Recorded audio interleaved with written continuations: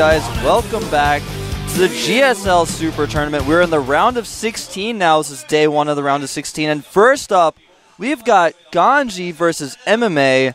Now, that is an epic match to start off. And I'm, I'm not going to do any like, fancy intros. I'm going to talk about myself. I'm not going to talk about Robin Clark, my two DT casting, uh, uh, you know, DTs just hanging out next to me. I'm not going to talk about that because today I want to talk about MMA, who, for those of you guys who don't know, who didn't watch MLG Columbus, you should probably cover your ears now. Just cover them. Don't listen to this.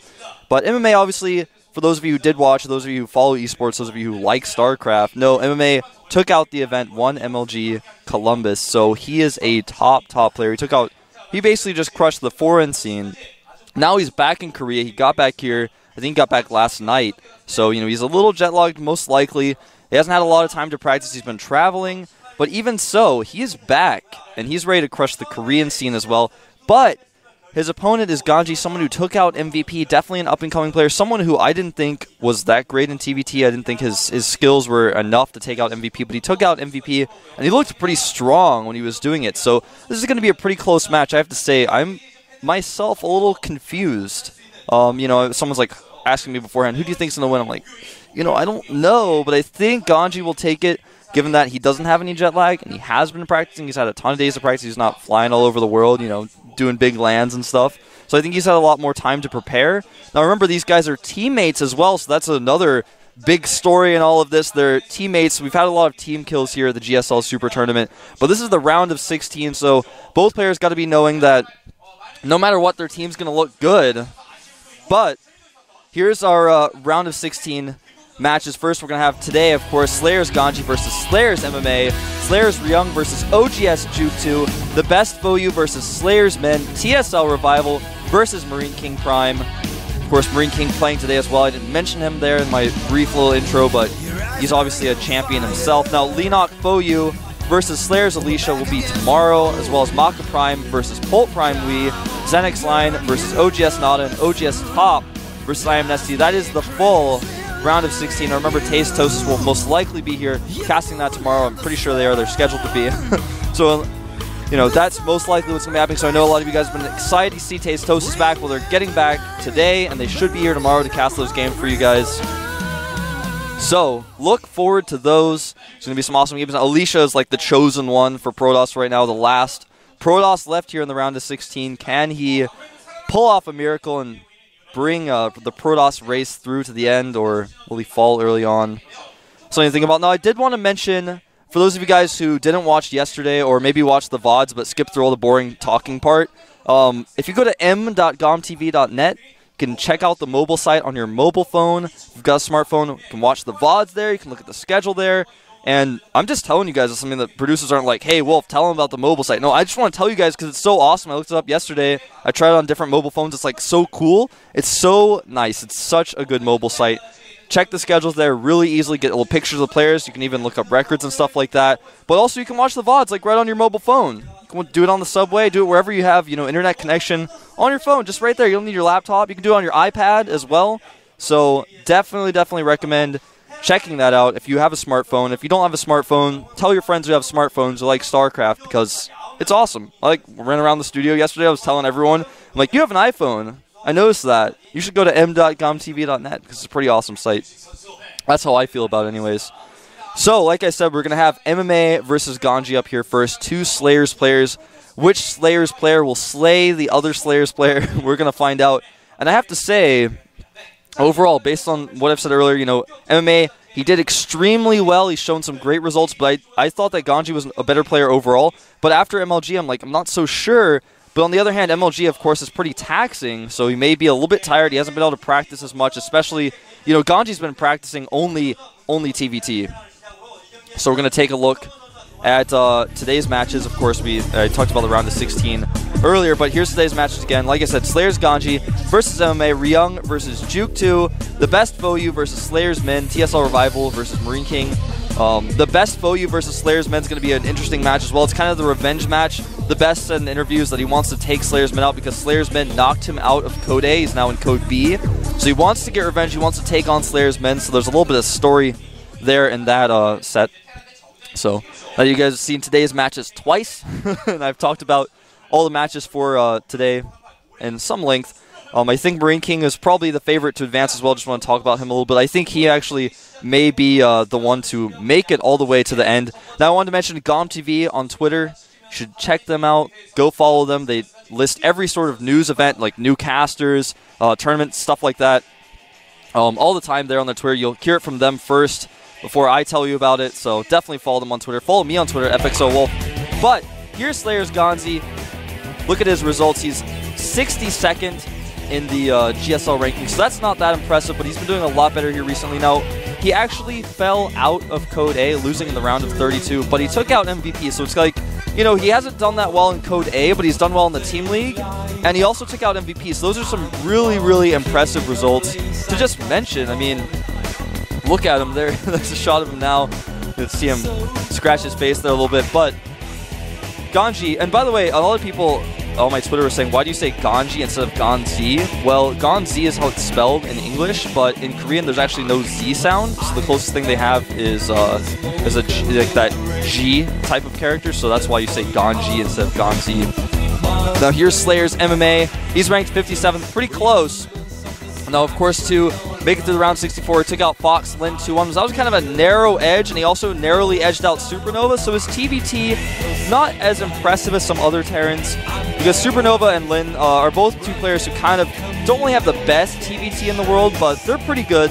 So you can't knock him for just saying, oh, well, you know, he barely edged over those guys. He's definitely improved a lot, and I think riding off of MLG, being excited, being hyped up on that, may come to help him here, help his confidence. But on the other hand, it may come to hurt him as well. So we'll just have to wait and see. I, you know, I've talked so much about MLG affecting his performance here today, but it really does. It absolutely does. So as you can see, the win rates here, Ganji not as high of a win rate versus Terran in recent matches. He's at 40%. Overall, though, he's actually at 53%, so a little bit better. You know, not all of his matches are televised, and of course there are longer matches there that just aren't shown. And of course, MMA doing a little bit better down there. He's got 66.7% win rate versus Terran.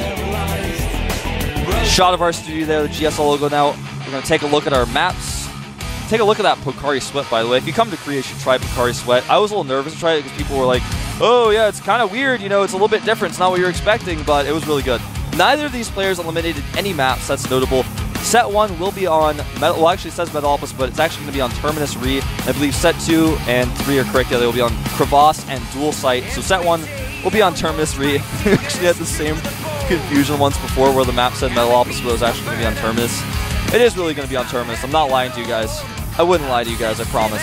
All right, so two Slayers players. You can see their blue jackets. Their headsets are lighting up. The countdown has started. Actually, the map's loading. Who's going to take game one? Which Slayers player will advance to the round of eight? Ganji versus MMA. Let's find out here on Terminus Re.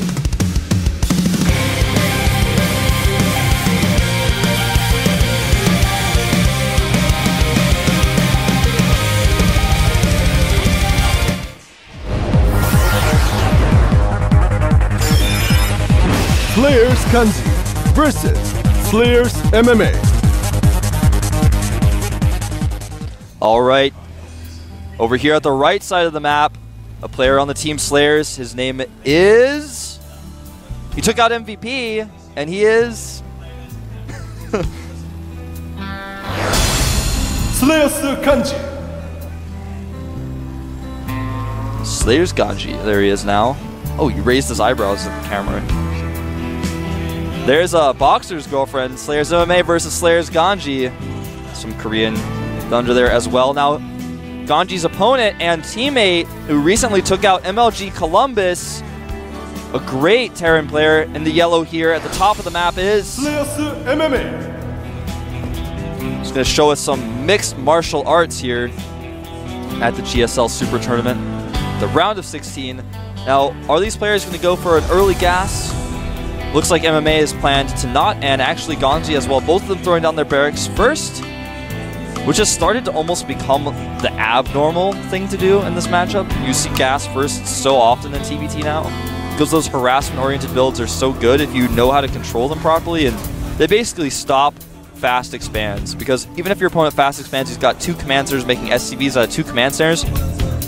You coming in with your harassment, if you're using Blue Flame Hellions, you just kill so many SCVs that you get ahead and expand. If you go for Banshee, sometimes you can just kill so many Marines that you can just kill them with a timing attack. So a lot of players kind of wanting to go with that style, getting that faster gas, getting that faster Viking out. It was the Vikings kind of help shut down the drop ships for the Hellions. Of course, um, you shut down Banshees as well. Banshees normally the follow-up for Hellions. But it looks like both of these guys are going to be going for fast expands. Now remember, they're teammates, so part of that does come into play here. They know each other's styles, and it looks like they both just want to try to play out a fast expand type of style and play into a later game. In fact, Ganji is going to go for a super fast expand. It looks like he's even going to skip his first Marine. No, he's not. He, he skipped it for a while to get that command center out. Okay, yeah, so he's I thought he didn't be like the command center yet because I didn't have my production tab open. He's going to bravely not only skip his first Marine, but make his command center on the low ground. You see that MMA is doing the same thing. So both of these players going for fast expands at their naturals. And Ganji a little bit ahead because he did skip that first Marine. Of course, both players skipping a supply depot as well. To get that gas up ASAP. So that's how you do it. For those of you guys who don't know how to fast expand, with the Terran. If you go for a gasless expand, after you get the gas up, I mean, in some cases, like in TVP, you don't always do this, but in most cases, after you start the command center, the command center gets to be about 30 to 50% done. You drop both of your gases immediately and start mining gas out of them so you can get that stim upgrade. And in TVT, for example, you might want to get your factory up ASAP, not even necessarily stim. It all depends on what kind of style you're going for, but got to get those gases up ASAP. It's something I've noticed a lot of newer players when I coach some people or uh, watch my friends play. like, oh, I heard about. I mean, they're not bad, but they're like, I heard about this fast sand build. I've never really tried it. And then suddenly they're like making only barracks, and they have too many marines, and they can't tech because they got their gases too late. You get those gases really quickly afterwards. All right, the factories have started for both players. This time, Ganji a little bit behind with his factory. This is a mirror match for those of you guys who uh, haven't picked up on that yet, so We'll be talking about a lot of the same things. Both these players almost doing the exact same thing. As you can see, both players have four Marines out in the middle of the map, both of them with one SCV as well. It's the epitome of a mirror match. But something else a little bit different. MMA has made two barracks, whereas Ganji is stuck with just the one. A little bit interesting. That means that MMA is going to have more Marines out. He's also going to be able to buffer his siege tanks a little bit easier if he wants to. Marines are not that significant at this at the, you know, once you pass the very early game, they become a little insignificant because if your opponent scouts you have more Marines than him. You can do, as Ganji is doing, and throw down a bunker just to be safe. So that's exactly what you can do. SCV counts for you guys, dead even at 26. I take it back, it's 25 to 26. MMA in the lead. So MMA actually going to add a tech lab on one of his barracks. Most likely wants to get Stim ASAP. The Starport is finishing up here for MMA. He's going to do a little switch. Ganji is actually going to be going for Pre-Igniter Hellions, though, so it's going to be a little difference in the build here. MMA going for Banshees, whereas Ganji is going to try to use that starport to drop Pre-Igniter Hellions. He may try to drop Marines as well. So another strategy you see commonly is you use the Blue Flame Hellions at the front. If your opponent doesn't make a bunker, you can just run into the natural Hellions, kill as many SCVs as you want, distract your opponent, and then drop Marines into the main. That's another strategy you see very, very commonly in TVT. It looks like we are going to see MMA commit to Cloak here and Ganji, not really aware of it as the observer just showed there, wants to find out here pretty soon what his opponent's up to. He may scan, or he may just try to play it safe. Now remember, he is making that first dropship. Now he may want to follow this up with a Viking just to be safe, and indeed that is exactly what he's going to do. You'll see it on the production tab here in a second. As soon as Ganji's supply depot finishes, he will supply block there a little bit. And it looks like it is going to be just as I said. Ganji going to drop Marines and use the Hellions at the front. There are some Marines here back to defend, but with one medevac and, and, an extra marine, should be able to clean that up pretty nicely. But if he knows about it, as he does now, he should be able to block with the marines. Now MMA, or Ganji rather, going to have to be very careful. This dropship does not want to lose it. Probably thinks there's Hellions in that dropship, but in fact there's not. Now, this Banshee going to do a little bit of harassment here, picking off Marines and SCVs, whatever she can. Remember that Banshee's outrange Marines just do so much damage. that with good control, you can really take out those Marines. Once the missile turret goes up, though, and the Viking comes out, it gets really scary. The Cloak is about to finish. Is it going to finish in time? Does finish in time. So that Cloak will be out.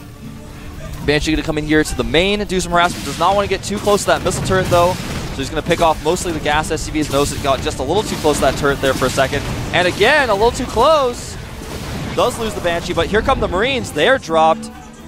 Or actually, they are not dropped. Locked yet again. He may lose the dropship, but here come the Hellions. And you know what? MMA is on top of it. He has already pulled most of his SCVs and just barely gets those depots up in time. So while MMA did lose that Banshee, he is doing a great job of blocking these Hellions. Another Banshee coming in here, doing some harassment. He keeps at hold position. And uh-oh, when, when Hellions are fighting tanks, you know something has gone wrong. Banshee looks like she will be chased away. She'll come back to harass another day. Rhyme not intended. There that that dropship is alive for now, but if MMA wants to make a Viking and kill it, he will indeed do so. Here comes some Vikings actually here to maybe scare the Marines away. He may land these. He wants to get those Marines out so desperately. But MMA, too well defended for that. And it looks like actually the Hellions where did those Hellions sneak off to? I'm looking on my screen. Oh, he's brought, brought him back down to the bottom of his main. He's actually added some more Hellions on. So this is becoming a newer style of TVT where you get a lot of factories out. Use those pre-igniter Hellions to control the map. As you can see, Ganji's got three factories back at home. And I was talking yesterday about how Nada kind of pioneered that a little bit. And someone on my Twitter or someone on uh, on TL or something was telling me, you know, Wolf, you can't forget about Goody. That's true. I feel bad. I didn't mention Goody yesterday. He's been doing this for a long time as well. In fact, he was probably the one doing it before Nada, but Nada kind of made it more mainstream. Goody definitely was the mech guy, and here comes some Hellions. Sneak in here, try to target down these Marines. There are too many Marines, though, and with a tank there as well. Very difficult for those Hellions to really do anything, so he picks them up and leaves. Did do a decent amount of damage, though. Picked off a lot of those Marines. Gonzi has those Vikings out, as you see a shot of now, patrolling around. He wants to spot any sneaky Banshees that may try to ruin his day. Neither player taking a third base just yet. But MMA has started his command center back at his natural expansion. He's making it there. He's going to lift it, float it over. So MMA is just sticking with the one factory right now. So basically what we're going to have as the mid game develops into a late game is Ganji is going to have a better army, but MMA is going to have a better economy, and that is going to come to play here a little bit. That Banshee showed herself in the middle of the map at the wrong time. She was picked off. You guys didn't get a shot of it, but these Hellions are trying their best to make something happen. There's Ganji making his third command center, making it at that third base location. Ganji showing us he's pretty bold. And MMA actually looks like he is going to make another command center. So he's going to be on four CCs here pretty soon.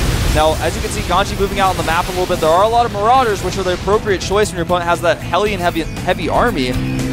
Because Marauders just don't really care about Hellions. Another little drop here. Didn't do a ton of damage. Hellions did survive though, so that was a small victory for Ganji. Now it looks like he's going to move forward and actually try to put some pressure on here as he's harassed. His tanks are unsieged, and there are a lot of Marauders. When there are Marauders on top of your unsieged tanks, things get pretty bad. And it looks like you will lose these tanks. Good control by MMA, crushing through this entire army. Now he's got himself a 40 supply lead. That Banshee has stopped the production of that command center. He's going to lose the Banshee, but he did stop production of that command center and got a few SCV kills along the way. Now he doesn't necessarily have enough to hold this. He does have good siege tank positioning. Now, if MMA tries to break the front, it's not going to be a good idea. He wants to go around the back, and that's exactly what he's going to do. Force his opponent on siege. Remember right now, as far as SCVs go, MMA is just a little bit ahead. He's seven SCVs ahead. But in the long run, he's going to have a huge economic advantage, having three command centers up first, having that better saturation, even having a fourth command center completed. So he is in great shape. This command center is going to have to be canceled. So it's going to be three CCs, or rather four CCs against three. Going to probably take another hidden base with that fourth command center whenever he wants to, really. And we may see a similar situation what we saw yesterday with Nada versus Virus, where suddenly MMA has a better army and a better economy and just contains his opponent, keeps him in his base, makes missile turrets everywhere, and just slowly takes over battle cruisers and just ends the game. His opponent runs out of money, runs out of steam, and does get taken out. He's got to break out eventually. So it looks like Ganji's going to try to get aggressive here in the middle of the map. Now, even though he has a smaller army with good positioning, he can win some fights, but the problem is MMA just has so many Marauders, as you guys can see. Once you have that many Marauders, you just crush through any unsieged tanks run into it. Even if your opponent is sieged up, you can just crush through, and those Hellions, unfortunately for Ganji, were a small loss as well. He didn't really get any damage off with them. Was possibly able to check his vision. He may have been able to see that command center. Actually, no, he didn't even see the fourth command center. And look at this. Ganji sieges up first. It's going to be a small victory. But there are so many Marauders, like I said, he may be able to crush through, but the siege tanks are spread pretty nicely. They're some of them further back, but it's just not going to be enough. It doesn't look like the Marauders crushed through, a lot of them low on hit points, but it doesn't matter because there aren't any more tanks to finish them off. There's that one tank there for Ganji. He's got a lot of SCVs to buffer, but again, losing a lot of his army. And when you're on two bases, when your opponent's on four, and you're, you know, just barely holding off your opponent's attacks, when the reinforcements come in, things get nasty. So as you can see, he has made that third command center again. He's going to lift it, try to take that third base, but Ganji, or rather MMA, is getting so confused about these guys' names sometimes. but MMA is going to be able to run in and snipe that CC, so he's definitely outclassing Ganji in this game here today. At least in game one on Terminus Re. And again, he's just going to run down here with his units. He knows he can. He knows his opponent can't have siege tanks in multiple places because the siege tank count is just too low. He's going to target that command center down with his Marauders forces that orbital to cancel. Now remember, Ganji does have a lot of Vikings, so that can kind of help him out in the positioning battle. But here's the thing. If you have more Vikings than your opponent, you can outposition him, unless he's got a lot of Marauders, because then if you move your siege tanks at all, those Marauders are going to kill all your siege tanks. Smartly, MMA just knows he doesn't really need to make any Vikings, just bringing as many medevacs in as he can, trying to heal up those Marauders. Ganji trying to get himself in a better position to defend that third base. He needs that base. He can't live without it. And it looks like MMA is actually just going to go for a drop. Going to siege up here at the edge. He sees there are some factories over there he can pick off. Well, he's actually changing his mind completely. He may try to drop Marauders on top of the siege tanks. That may be a strategy here. I think he wants to drop in the main. He's just forcing he's forcing Ganji to kind of move around left and right, left and right, bounce back and forth. And uh oh, now the tanks are on siege and the Marauders are stepping forward. There are a lot of Hellions to buffer though. In fact, a lot of Hellions buffering so many siege tank shots in the Marauders, so Ganji getting off a lot of good hits. But the Hellions will fall here. And the siege tanks are unsieging. Now MMA can't see that. The Viking's going to land on top of these tanks. That's a pretty good move as he moves forward. Nice moves here by Ganji. It was like a sick dance move. If I saw that on the dance floor, I'd be like, dude, this guy's cool. I want to hang out with him later. But the Siege Tank's going to siege up here. Now, if the Marauders fall, this is going to be pretty huge. Ganji does break out here, does take a third base, does what Virus could not yesterday, although it's a completely different situation this time. We're seeing a similar style here from MMA, just trying to contain his opponent and get a better economy. Now, even though, again, even though MMA has a lot more Marauders than his opponent, as those Marauders fall, the Siege Tanks become much more important, and a lot of those Marauders are on low hit points. So MMA isn't as ahead as you think, but he is definitely significantly ahead here. Remember also that a lot of Ganji's army is in Vikings, which do help in the positioning battle, but like I said, when you've got that many Marauders out on the map, isn't everything. And here comes that battle. Nice little flank here from MMA, attacking on both sides, and if the siege tanks fall, that's going to be it for Ganji, and they do all fall. Nice flanking by MMA. GG. MMA takes out game one. The MLG champ taking out Ganji, who took out MVP, and MMA, a player not even in Code A, but he took out MLG, and maybe he's going to take out this Super Tournament, ladies and gentlemen. Ganji looking a little unhappy with himself but he played well. Sometimes when you take a risk and get that third command center on a big lap, big map like Terminus Re, it works out for you. Sometimes it doesn't. But I gotta say, I think it was a smart move by MMA, especially after maybe he watched those Nada games yesterday. Most likely he did. Um, I mean, I think watching that may have influenced his style a little bit. You're, you're starting to see the style a little bit more on Terminus Re where you just kind of control the map. Usually the person who's controlling the map and having the, the soft contain into a hard contain is the one with the Vikings, but in this case it was the opposite, because if you have those Vikings out, you can kind of control whether or not your opponent drops. So maybe If uh, Ganji realized what was happening earlier, could have tried to do some drop play to kind of turn the tables a little bit, force his opponent to turn around or maybe go for a base race. Because as it stands, four bases against two, you're just not going to win that fight. Uh, if you're contained, you're not going to really successfully be able to break out there. And the next map is going to be Crevasse, another relatively large map.